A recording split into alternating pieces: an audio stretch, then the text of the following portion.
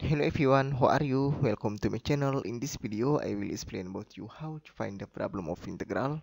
Integral of 4 over x squared minus x minus 6 dx. Okay, 4 over x squared minus x minus 6.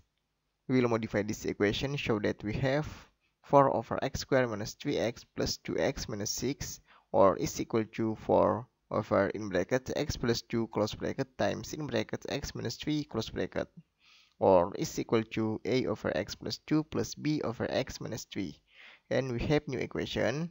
For is equal to a times in brackets x minus 3 close bracket plus b times in brackets x plus 2 close brackets. Next substitution x minus 3 is equal to 0 or x is equal to 3 show that we have 4 is equal to a times in brackets 3 minus 3 close bracket plus b times in brackets 3 plus 2 close bracket. Or 4 is equal to a minus 0 minus b times 5 or 4 is equal to 5b or b is equal to 4 over 5.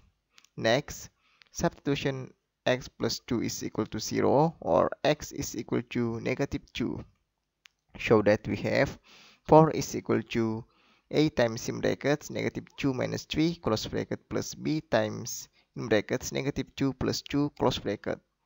Show that we have 4 is equal to a times negative 5 plus b times 0 or 4 is equal to negative 5a or a is equal to negative 4 over 5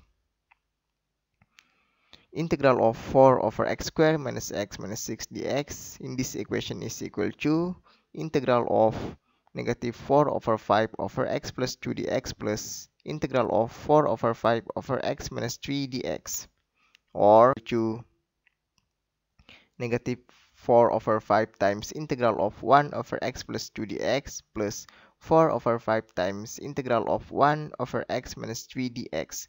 Generate negative 4 over 5 times ln absolute value of x plus 2 plus 4 over 5 times ln absolute value of x minus 3 plus c. Finally, we find the answer to this question. Don't forget to like, comment, subscribe, and turn on the notification bell. Thank you. See you next time.